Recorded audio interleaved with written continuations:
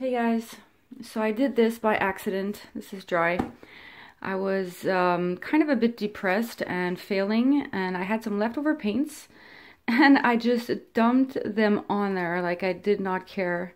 And then I swirled it and tilted it and I knew that some effects would happen but I didn't know that it would be this much. But as you can see, the overall look is not so good. So I'm going to redo that again, except this time on purpose and with different colors I'm going to use the exact same um, recipe that I did for that one which is simply Artist Loft black and white and DecoArt here I have calico red, orange flame and saffron yellow all mixed with a little bit of medium and water. So I'm going to really do exactly like I did. All right. So let me set myself up here and I am going for this.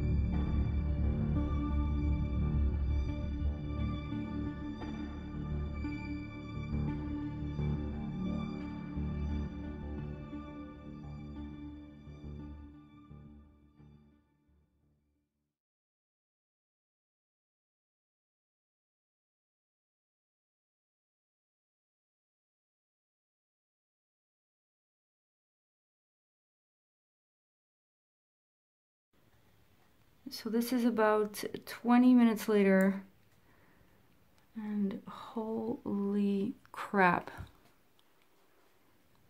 The canvas is literally completely, completely filled with natural cells. It's exactly what it is.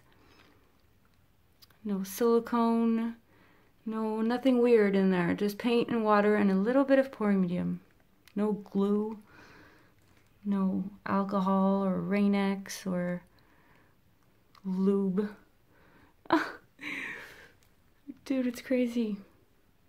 Now, there was a line in this area here. You guys probably saw it of paint of color. It was like yellow and then straight to black and it was looking kind of weird. So I did just blow on the paint um, in those areas right there off camera, sorry.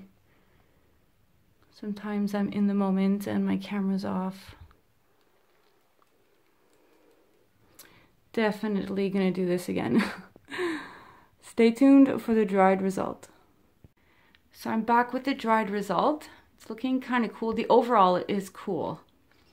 Now I did varnish it because these uh, paints do fade.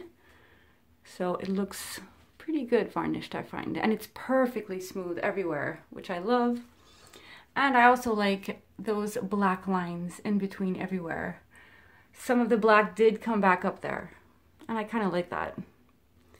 But it did continue changing and weirding out a bit here. So what I'm going to do now is I'm going to try this again, but I'm gonna modify my recipe a little bit and I'm gonna try and tone down those brain-like, jellyfish-like effects and see what that's gonna give me. All right, so I hope you guys like this. Have a good one.